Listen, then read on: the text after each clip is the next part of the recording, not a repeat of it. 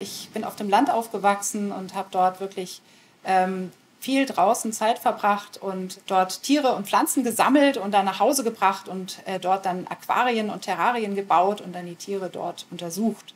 Und ähm, dieses Interesse für, die, für das Leben an sich und für die Diversität und ähm, das Verlangen danach, wirklich die Funktion dieser Organismen besser zu verstehen, hat mich dann dazu motiviert, Biologie zu studieren. Mein Name ist Bärbel Stecher-Letsch. Ich bin Professorin für medizinische Mikrobiologie hier am Max von Pettenkofer Institut der LMU München. Mein Forschungsthema ist das humane Darmmikrobiom, in dem wir verstehen möchten, wie das Darmmikrobiom uns unterstützt in unserer Gesundheit und gegen Infektionen schützt. Eine akademische Laufbahn ist eine gute Entscheidung für jeden, der neugierig ist, der ähm, wissbegierig ist und der gerne selbstständig arbeitet. In meiner eigenen Arbeitsgruppe versuche ich auch Frauen zu unterstützen, die ähm, bei mir als äh, Doktorand oder auch Postdoktorand arbeiten, eine wissenschaftliche Karriere anzustreben.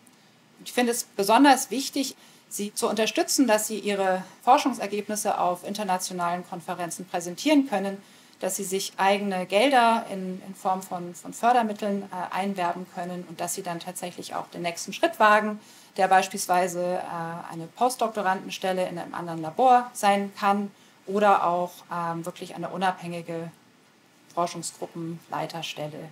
Als Professorin habe ich einen sehr vielfältigen Arbeitsalltag. Vor allem beschäftige ich mich natürlich mit der Forschung. Wir haben ein größeres Team an Wissenschaftlern und Wissenschaftlerinnen hier im Labor und äh, die forschen tagtäglich ähm, an Bakterien, am Mikrobiom. Der große Vorteil, denke ich, einer akademischen Karriere ist, dass man selber sein Forschungsthema wählen kann. Man hat die Forschungsfreiheit und man kann sich seine Zeit auch sehr, sehr flexibel einteilen. Das ist dann wiederum gut, wenn man jetzt Familie und Beruf vereinbaren möchte, weil man dann eben auf unvorhergesehene Dinge ähm, auch relativ spontan reagieren kann. Und äh, dann wird vieles möglich.